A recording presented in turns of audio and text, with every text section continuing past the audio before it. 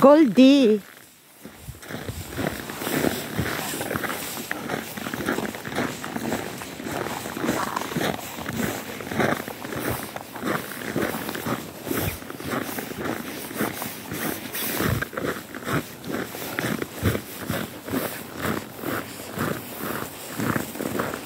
Tingnan nyo guys, ang ganda guys. Ang ganda, ang ganda.